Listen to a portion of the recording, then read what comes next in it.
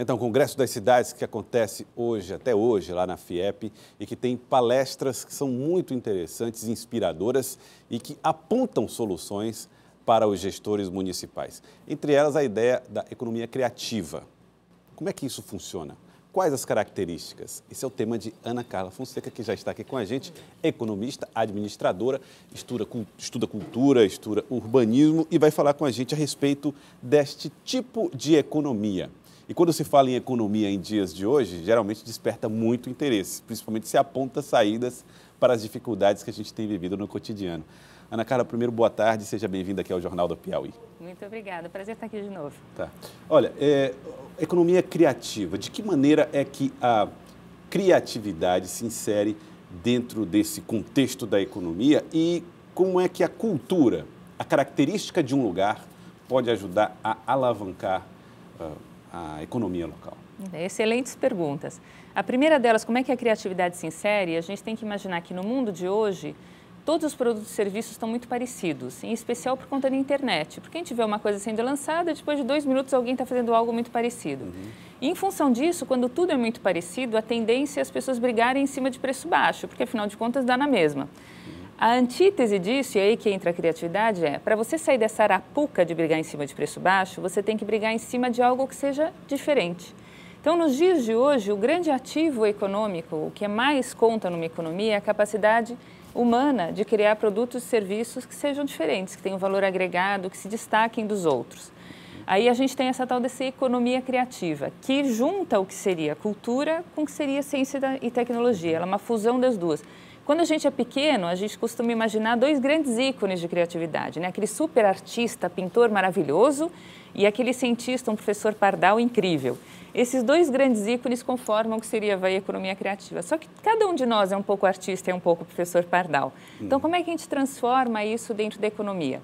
Você falava de cultura. Quando a gente pega, por exemplo, moda, design, gastronomia, é, festas populares. Esse anel, que eu tenho o maior carinho por ele, porque eu comprei da última vez que estive aqui em Teresina, que é feito com uma opala, de vocês. De II, né? E é um trabalho incrível de ourivesaria, de design de joias.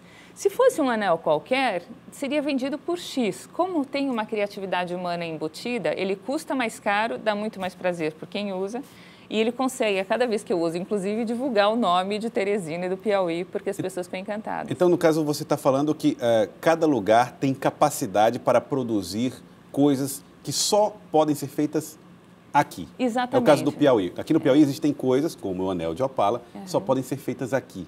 E isso, isso. dá um, uma capacidade competitiva maior a esses produtos. Dá uma, uma capacidade competitiva maior e dá mais valor agregado, porque você uma coisa é você vender a Opala, que já é maravilhosa, mas pelo quilo, pela tonelada, pelo que seria o valor Material bruto. bruto.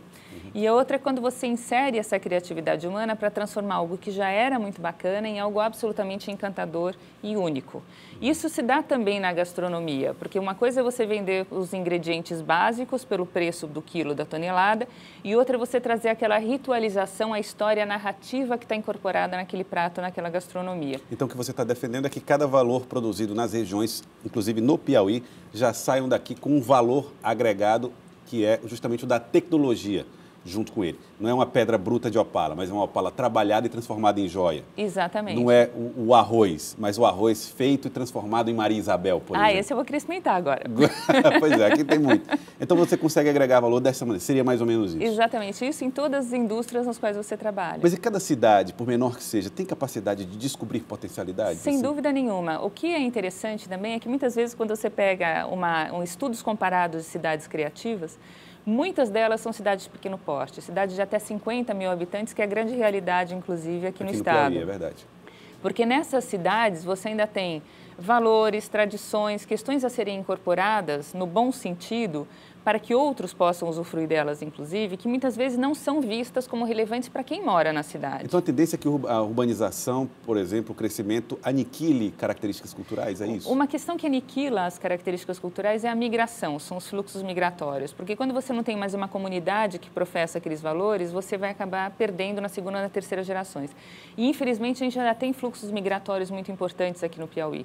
Então, o que a gente defende é, a partir do momento que você reconhece o valor do que você tem e você transforma isso também em possibilidade de gerar emprego e renda, você dá às pessoas que estão naquela comunidade a possibilidade de ficarem onde estão e de não serem levadas a sair por falta de escolha. E aquela cultura que antigamente não tinha valor nenhum para ela passa a ser um grande valor e grande patrimônio também na hora Exatamente. de ganhar dinheiro. Exatamente, isso. que é o que mais se busca. Você veja, por exemplo, no setor de viagens e turismo, para citar somente um.